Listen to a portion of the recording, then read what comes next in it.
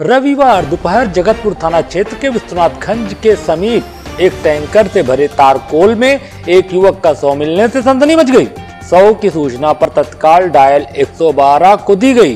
सूचना पर पहुँची पुलिस ने शव को कब्जे में लेकर उसकी शिनाख्त कराई तो मृतक की पहचान महेंद्र द्विवेदी के नाम से हुई, जो कि इस्माइल गाँव का निवासी था और मानसिक रूप से विक्षिप्त बताया जा रहा है। पुलिस ने मामले की सूचना परिजनों को देकर शव को पोस्टमार्टम लिए भिजवा दिया और मौत होने के कारण की जाँच शुरू कर दी।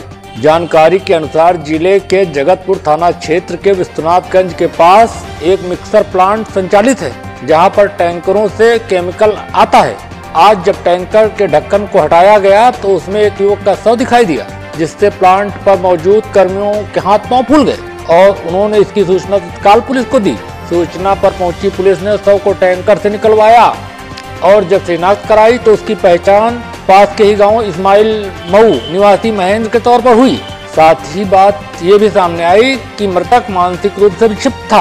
पुलिस ने मामले की सूचना परिजनों को दी और शव को कब्जे में लेकर मौत के कारणों का पता लगाना शुरू कर दिया है। फ़िलहाल प्रथम दृष्टिया मामले में केमिकल में गिर जाने से ही मौत मानी जा रही है, लेकिन असल वजह तो पोस्टमार्टम रिपोर्ट आने के बाद ही होगी। फ़िलहाल पुलिस मामले की जाँच पड़ताल में जुट गई है।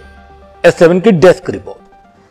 दिसंबर 2021 को समय सुबह आठ बजे डायल वन के माध्यम से थाना जगतपुर क्षेत्र के अंतर्गत विश्वा- विश्वनाथगंज रोड के निकट मिक्सर प्लांट पर केमिकल भरे टैंक में एक सौ मिलने की सूचना प्राप्त हुई थी।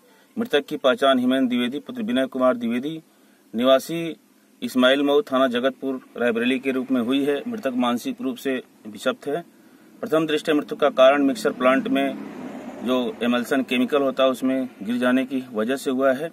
परिजनों को सूचित कर दिया गया है। मृत्यु का सही कारण जानने के लिए शव का पंचायतनामा भर कर पोस्टमार्टम के लिए भेज दिया गया है। कानून व्यवस्था की कोई समस्या नहीं है।